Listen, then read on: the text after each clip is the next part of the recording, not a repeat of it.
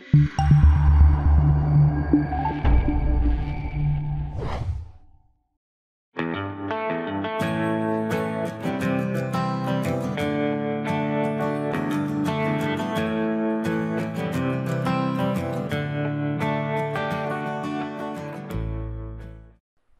This lecture is the Advanced Windows 10 with the Trusted Platform Module. TPM is the cornerstone of Windows' entire ecosystem of security, including Windows 10. Hello, I'm Lowell Vanderpool. I'm really a geek, and I've been teaching technology for over 34 years, and I really enjoy sharing with the IT community. Understanding Windows 10 security is critical. The growing list of vector attacks from bootkits, rootkits, keystroke harvesting, fileless malicious code, botnet code, ransomware, and on and on and on is really impacting the entire computing environment. Windows 10 is providing you and your business an incredible array of security features that provide significant improvement in protection. Every aspect of computing today is being impacted by security, and security is rising to the top. The cost of cybercrime is growing. You can see malware, web based attacks, denial of service, malicious insider. All of these things are having a tremendous impact on individuals and corporate entities. Most of what is covered here includes both Windows 10, Server 2016, and Server 2019. The Windows security features that are now in Windows 10 far exceed anything we've seen in any other previous version of Windows. So, what is TPM? TPM is fundamentally a secure crypto processor. Here's an example with ASUS. This is a module that you can buy and plug into your ASUS motherboard, and it adds TPM components to your motherboard. This is a type of server based TPM this is a HP motherboard, and you can see the module that you can plug in and giving you the TPM capability. I would say that most servers today, this is baked in, you don't have to add a module. Here's an example of Google Pixel 3's TPM chip, and you can see it compared to a penny.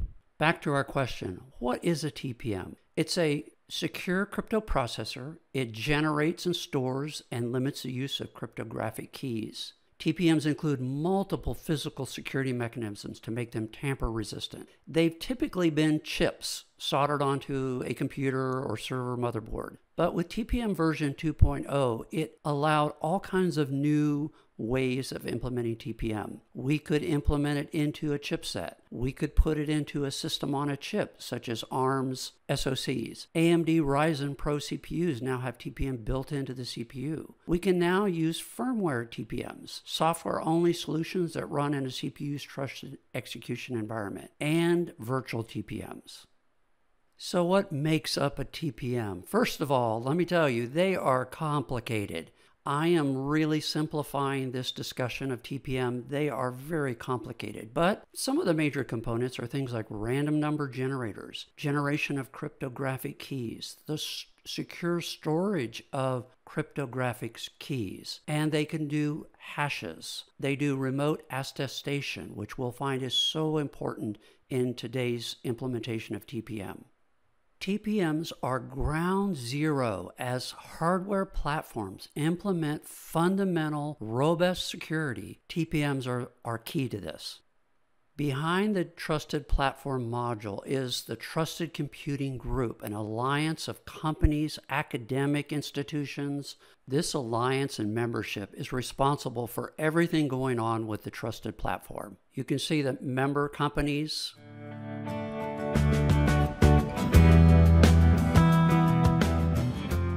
The TCG Alliance provides the architecture, the design, and the implementation of all TPM products. So, why is TPM so important? TPM can protect your identity, it can validate your operating system, it can initiate a rollback to a known good state. It can provide secure two factor and three factor authentication. It can provide secure storage. It can significantly reduce your attack surface. Google's Chromebook uses TPMs, hash values, to validate proper boot files and system files. You can see by this example how we power on a Chromebook. The there's measurements of the BIOS, the firmware, as well as measured expectations on the operating system. If they don't meet expectations, it can roll back to a known good copy. This is why Chromebooks have really gained a reputation for security. Juniper Networks allows their routers to use TPM and hashed values to validate proper booting we start the BIOS. It can then look, the TPM then can measure the hashed values of a known good BIOS, validate the BIOS, runs the, the bootloader for the Junos image. Again, a stored hash value of what should be there is compared. And even when the kernel is run, again, we can compare with a known good value so that every time a router boots up, we know that the image is correct. All of this is taking place by using a TPM. Because TPM implementation is typically a discrete chip on a motherboard or device, it must be tamper resistant. TPMs have active shield over the entire chip. All memories are internally encrypted. Randomized math operations, internal state consistency checking, voltage tampers, isolation power rails, internal clock generation, and on and on and on. These are hardened physical devices that provide a root trust.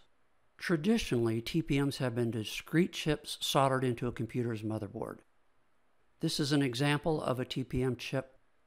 With the latest version of TPM, version 2.0, we can now implement TPM in, integrated into other devices, such as this is my motherboard that I'm showing up here, and it's got an Intel chipset Z390. It has built into it Intel's Platform Trust technology, which is an entire TPM 2.0 built into the chipset. If you have an Intel motherboard, you can go to Intel's chipset database and check to see if your chipset supports the Intel Platform Trust technology. If you do, you have TPM. The new AMD Ryzen Pro CPUs have TPM built into the CPU. TPM 2.0 also supports FTPM, which is a software based version of TPM. It runs on millions of mobile devices. You're probably using it today. FTPM provides mobile two factor authentication services such as Google's Authenticator, Symantec's VPN Access, Microsoft's Authenticator, LastPass Authenticator, and much, much more. Data center TPM technology is also crucial, and that is based on virtual TPM, Linux, VMware, Microsoft Hyper V. These data centers are running lots of virtual machines, and they must have TPM to support it. So there is a version called Virtual TPM, and you can see it in Hyper V here. VTPM is a cloud security platform. It is foundational for Google Cloud Platform, Amazon Web Services, Microsoft Azure, Rackspaces, and I could go on.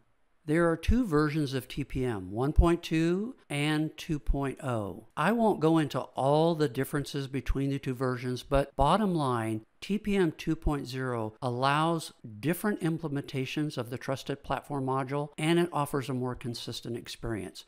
One of the strong points of TPM has been its inclusion and its foundation in privacy. Mike Bond and Peter Landrock wrote an extensive overview of TPM and how it is designed very deliberately to ensure user privacy. TPM was developed for all kinds of hardware platforms routers, aerospace, storage, switches, VPN, computers, servers, IoT devices, automotive, mobile platforms, smart buildings, medical devices, anywhere we need fundamental trust in a hardware platform.